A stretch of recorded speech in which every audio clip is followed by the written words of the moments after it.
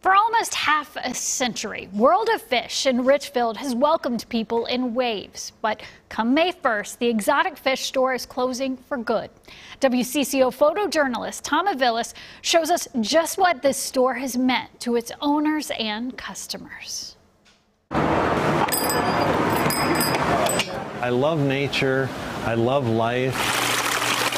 And it's like having life right in my home is really a positive piece, and I love it. Mm-hmm. I, I, really love it. See the green spotted puffers? This is my heart. This is what I want to do. I had said I would never get married to a salesman, much less a fish store salesman.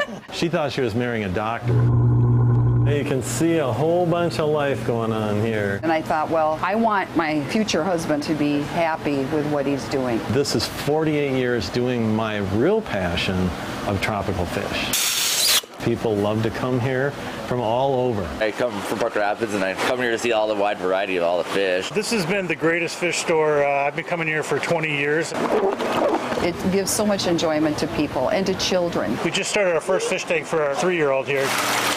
It's kind of therapeutic in a sense. In modern day, there's so much crazy, hectic stuff going on in the city. And just to have a piece of nature in the home, you know, it's very relaxing. These are fish from Lake Malawi in Africa. They have everything. Crabs and shrimp and sea urchins. Everything. Invertebrates and corals. And we're actually able to restock the ocean now with some of the corals that are raised in captivity. Any other corals? Nope, just that one. I just want to say thank you because without the customers, and without the employees, we couldn't have done it.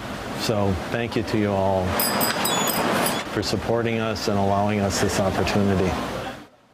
What a wonderful run. Congratulations.